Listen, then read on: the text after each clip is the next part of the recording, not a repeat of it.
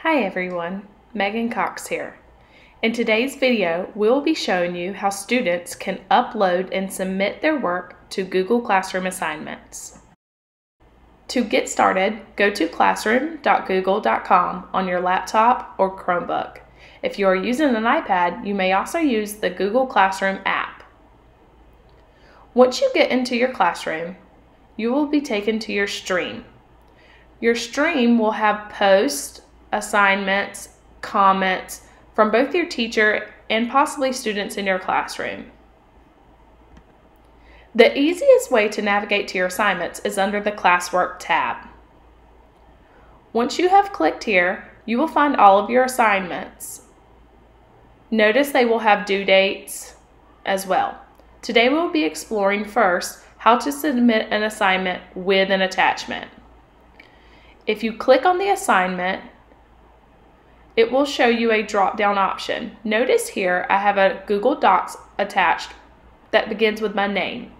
No matter the format, it will always start with the copy of whatever your teacher has assigned you with your name first.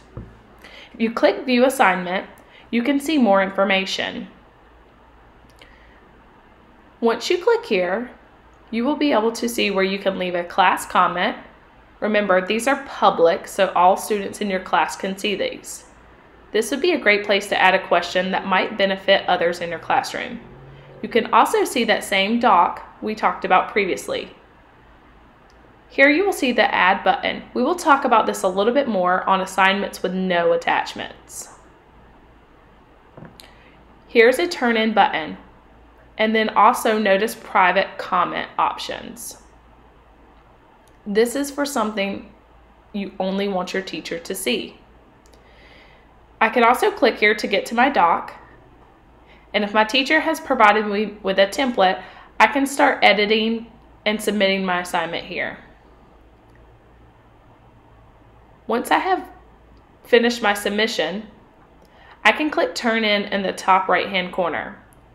Once you do this, you will lose all editing rights and the teacher will take them over.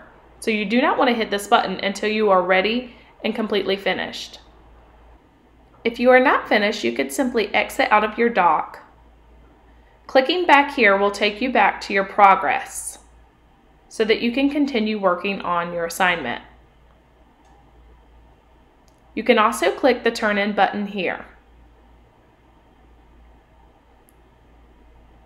After you have submitted your assignment, you can navigate back to your class in the top left hand corner.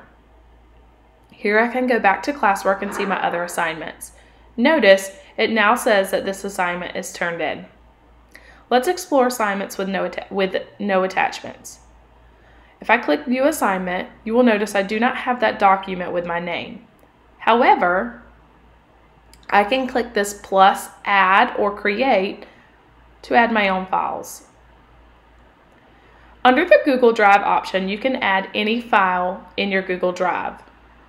For example, this could be a Google Doc you have created, or it might be a video file that you have uploaded and stored in your Google Drive. Notice the other types of files you can attach. You have the option for links.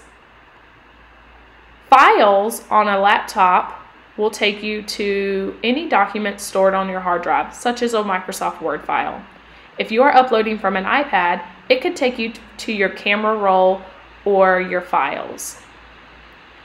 If you have not started the document or assignment, you can use blank docs, slides, sheets, and drawings from below. They will automatically be stored in your Google Drive and work the same way. From here you have the same options for commenting or private messaging or submitting. If you are uploading from an iPad, please note that a lot of the same functions will be listed at the bottom of your screen instead of to the left-hand menu that you are seeing or the top that you are noting here. Thanks for tuning in. If you still have questions or you have specific questions on how to turn in an assignment, please reach out to your teacher.